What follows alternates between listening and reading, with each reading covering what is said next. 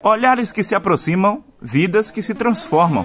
É o tema da Jornada Pedagógica 2023 de Venceslau Guimarães.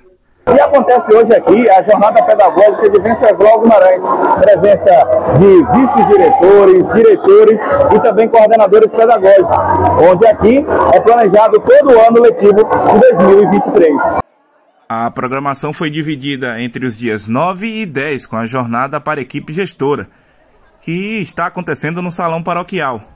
Já nos dias 13 e 14, a jornada será realizada para professores da rede municipal de ensino, também no Salão Paroquial. No dia 15 de fevereiro, a jornada ocorre nas escolas municipais. É uma satisfação, né, poder participar desse momento ímpar aqui no município de Venceslau Guimarães. Na verdade, a gente sabe que o ano letivo só se inicia quando a gente sente, né, o pulsar da jornada pedagógica. E esse ano escolhemos um tema excelente, né, que os nossos olhares realmente se voltem para o outro, né, e que esse olhar gere vidas. E estamos nessa jornada, como o próprio nome diz, é, imergidos nesse pensamento e fortalecidos e fortalecendo uns nos outros, na certeza de que se juntos, né, estivermos, com certeza alcançaremos vidas. E hoje pela manhã tivemos uma palestra falando sobre neurociência, muito excelente para o nosso crescimento educacional e para a aprendizagem dos nossos alunos.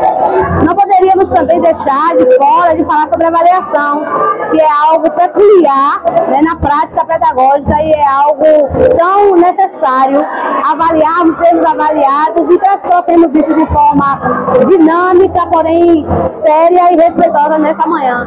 E a jornada tem sido e será um sucesso. Para o secretário municipal da Educação, Marcos Antônio, o objetivo é explorar de cada um profissional da educação um olhar de aprendizado de cada aluno.